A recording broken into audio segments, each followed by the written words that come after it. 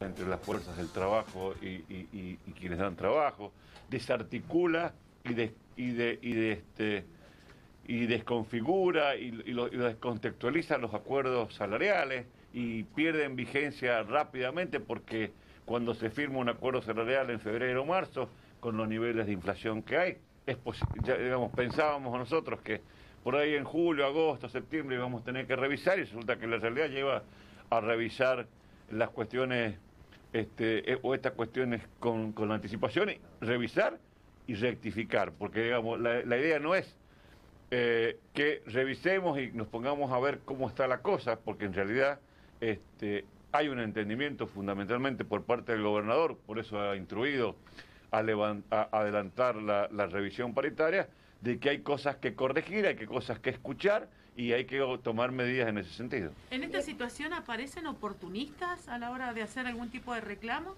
Yo diría, a ver, que el árbol no tapa el bosque. Seguramente, y hemos visto desde el, desde el desfile del 25 de mayo, he mezclado el legítimo reclamo de los docentes con algunos este, dirigentes o, o oportunistas, como usted los llama, buscando con alguna intencionalidad política. Pero acá eso no nos puede hacer perder el eje. El eje es que hay una situación que este, la inflación ha sacado del contexto en que nosotros estábamos pensando, que hay que atender que hay que estudiar y que hay que rectificar y corregir en la medida de las posibilidades de la provincia. En este caso, la la huelga de manifestación. mañana, ¿cuál es su opinión?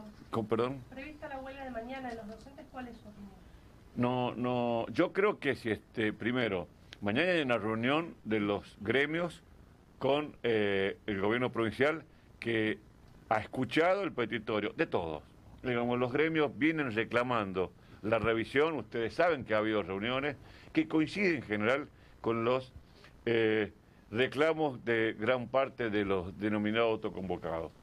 Creo que este, nosotros hemos entendido que había, el gobernador fundamentalmente, entendió que esto había que adelantarlo, había cuenta de los reclamos y lo que teníamos previsto para julio se adelantó para junio. Ahora hay que dejar que las partes eh, actúen, gremios y, los representantes del gobierno provincial, que además van a atender y considerar en la mesa de negociación los pedidos de o las solicitudes de los autoconvocados. En ese marco, en ese marco, habrá que ver cuáles son eh, las posibilidades que tiene la provincia para atender esos reclamos. Y hay que, creo, que en una provincia donde ha hecho un gran esfuerzo, un gran esfuerzo, y los docentes saben que tenían hace siete años más de la mitad del sueldo en negro, era así, hoy lo tienen casi todo en blanco, lo tienen todo en blanco, fue pasándose una serie de sumas negro a blanco.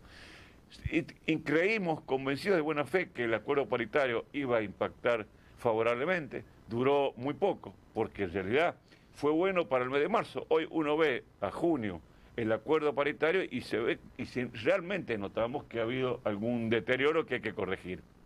Entonces, en este marco hay que dejar que las partes dialoguen, buscar el acuerdo, buscar que esta provincia conserve este, la paz social, el equilibrio financiero que les permite a todos cobrar puntualmente y corregir aquellos sectores, sobre todo los más desprotegidos o, o los de mejor menor salario, que tengan una mm, recomposición que les permita este, enfrentar los nuevos meses. ¿Qué va Y habrá que y habrá que acortar hasta inclusive los plazos, suspender las medidas de fuerzas hasta hasta que hubiera este, una, un diálogo, una respuesta por parte del gobierno. Hay que esperar la respuesta por parte del gobierno, que seguramente este, nos invitará a dialogar, a buscar mm, puntos de encuentro y de acuerdo, seguramente.